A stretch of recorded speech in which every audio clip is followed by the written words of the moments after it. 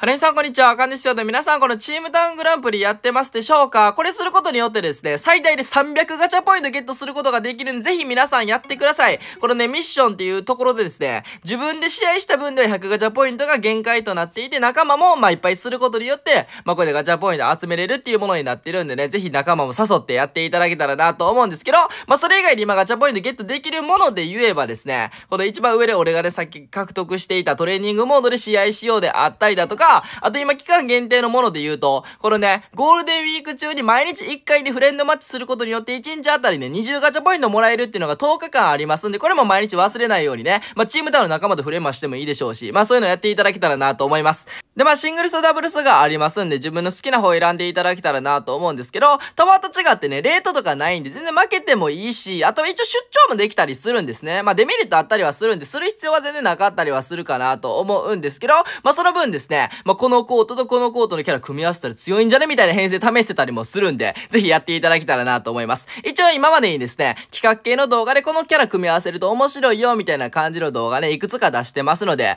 まあその中でも面白いなと思うのを使ってもいいでしょうし、まあ今回また別のね、編成を考えてきたんで、こちらを使っていきたいなと思うんですけども、こちらですね。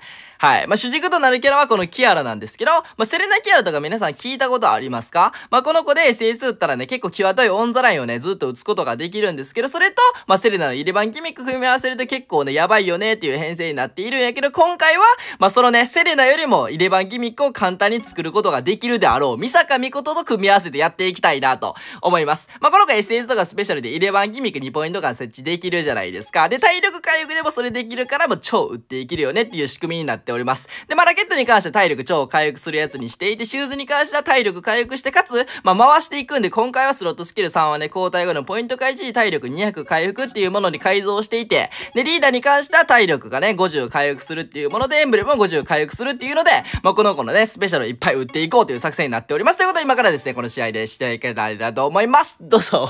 このチャンネルでは白猫テニスについての動画を上げてますので、興味がある方はぜひチャンネル登録してください。はい、というわけで1戦目やっていきたいなと思います。まあ、初手はミサカミコトでね、貯めていきたいなと思うんやけど、さっきどっちで SS とかちょっと悩んでるんよね。なんか普通セレナキアラとかやったらね、さっきキアラで SS 打つんですよ。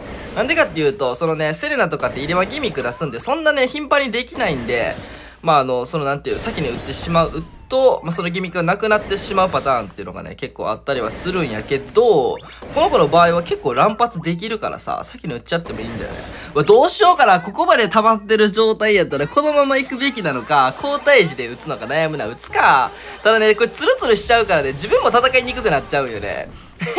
そこがちょっと難点っていうのがある。これ決まったらしい。OK。これね、あの、長引いてしまうとこの子の得意状態終わってしまう危険性があるから、まあ、極力で早めに終わらせて、で、一回この子に交代して、まあ、爆速でまた貯めて、で、まあ、特攻ボレーとかしてね、まあ、失点はしてしまったんですけど、まあ、それはそれでいいと。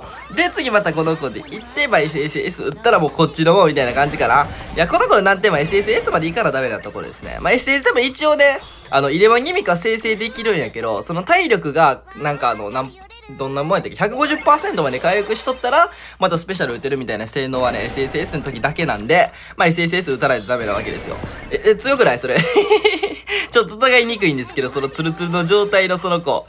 いや、困ったら、これ、大丈夫かな？俺取れる？あ、溜まってほしかったな。これ取れるかなちゃんと。あー、オッケーオッケー。これは取れる。結構吹き飛ぶねんな、相手。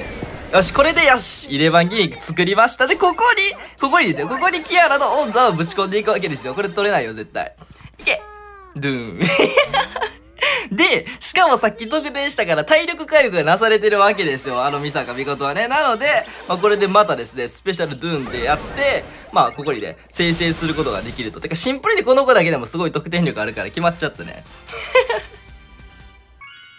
はい、というわけで2戦目やっていきたいなと思います。初手はまあこの子で貯めていこうとは思うんやけど、ワオいや、ノクバと弾の速度えぐい。え、マジで氷闇のしてえぐいよな。こんな弾、初手から撃っていけるんやば。しかもアウトせえへんやったっけ、この子って。わあこれはちょっと間に合わへんな。一回遠回りして、で、ちょっと体力回復して安全を取ろう。無理。いや、これもしかしたらラケット打ったら取れたから、ちょっとやらかしてる気もせんでもないけど、どうしようかな。あの子灼熱のキャラやんな。だからキアラで先ツルツルにしちゃっても大丈夫な気がするから、この子に交代して、ギアショットは後で打とう。SS 打ってからギアショット打って、まあ、すぐにまた SS が溜まる仕組みにしよう。やばい、マジで打ちたい打ちたい。オッケーオッケーオッケー。よし、もう打てたらもう別にいいよ。長い間ラリーしないんであれば。オッケーオッケーオッケー。ツルツルやからね、瞬間移動しても座標がちょっと来るって取りにくいと。これほんま強いね。マジで雪ストームっていっちゃん強いと思うわ。それと比べて、もう灼熱ストームはどういうことですか？あの、ちょっと体力枯れやすくなるだけ。まあ、スタミナシャイプラス30%とかもあったりするから、マジで枯れやすくはなるんやけどさ、本当変わらないよね。なんか体力枯れやすくなったらドリンクいっぱい落ちるしさ。そこはちょっとねって感じはするけど、まあ、とりあえず、まあ、この子に交代して SSS を打っていきたいけど、やばい。でも一応なんか白井黒子って、この美坂美琴と対面した時は、そのレベル 1SS とか使った時の SS ゲージの消費量がね、結構上がっちゃうんですよね。なのであんま打てないっていうのがあって、まあ、結構ね、あれではあるんやけど、よし、これでもエレバンギミック作っていくと。決まらんかマジか。よいしょ。マジで言ってる？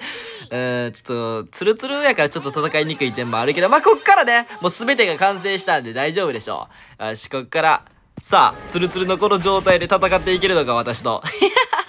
瞬間移動キャラをもう完全に通していきますね。どうしようかな。今な、美坂美琴の体力微妙なんよな。体力回復の方でいくか。体力回復して、あれ？あ、あ、今ドリンク、あー、ドリンク取りに行けば、あの、もうちょい回復できたのに。まあ、いっか。よしよしよし。で、これでもまっすぐの方へ張りまして、いや、取られへん、それマジで。でもまあまあ、キアラがおるか、キアラで行って、みたいな。うん、この戦い方、どうだちょっと、あの、あれやな、失点しすぎやな、美坂美琴の時にな。この白井黒子の球、超苦手問題が。危ない マジで。よし、ギリセやったね。相手そんなに S1 バカバカ打ってられへんから。やばいやばい。あ、そっから超ギリギリのやつをやってますけども。よし、SS 打って、まあでも SS 打っても、まあ、ミサがミコトはその体力が回復してたら、イレバンギミック生成できるって言ってたから、マジで相性はいいねんけど、試合に勝てるかどうかは別。あ、でかいデュースだったんか、超でかいけど。で、フラットサーは相手今怖がってるはずやから、スライスバコンいってナイス。ツルツルも相まって結構決まりましたね。ただこの子の体力、あ、回復したね。オッケーオッケー。これでイレバンギミック作って、あ、もうこの子であれちゃうの。とどめ卒感になるんじゃなりませんでした。刺されました。じゃ、ドリンク取ろう。ドリンク取って、よいしょ。で、まあ、この子で、まあ、またね、戦っていくって感じやね。まあ、交代時さえあればね、そんなに出張のあの、デメリットは感じにくいんでいいですよね。まあ、ハードやからこんだけで済んでるけど、もしクレーコートにね、このグラスコートのキアラをね、あの、出張した場合は結構体力脆くなりすぎたりとか、あと SS がたまらなすぎたりはするんで、まあ、あの、出張するんであればハードコートが、まあ、一番適任かなと思います。ちょ、ツルツルがちょっと苦手だな。どうしようかな。なんかエンブレム逆境時、あの、あれのやつにしようかな。効かへんやつ。ツルツル効かへんみたいなやつ。ただなんかデュースとアドバンテージこっちが握るパターンが多いからちょっとあれかもね。で、これ多分入れ番せえへんな。貼り方ミスった。あー、普通にいっちゃうやつ。いて。まあ、まあまあいいでしょう。まあこれはすぐ失点したかったからむしろありがとうって感じで追っといて、これでスペシャル打つんやけど、また相手はダイブとかで結構取ってくるから後ろの辺から打とうかな。あー、取った。やっと取ったぜ偉い。偉い私。よし、SS も売っていってないですね。はい。イレバンギミック普通に強いやつね。よし。やっとこれが完璧な状況じゃないですか。これは価値格演出でしょ、きっと。逆にあえて売って。はいはい。で、こ、あ、なに、オンズじゃない、危ない。はい、ゲイ、クソや、マジ、来たかと思ったのに。今、クソやって言った、俺。ちょ、あの、クソ、クソと嘘やが混じってしまいました。はい、やったぜ これが理想の勝ち方となっております。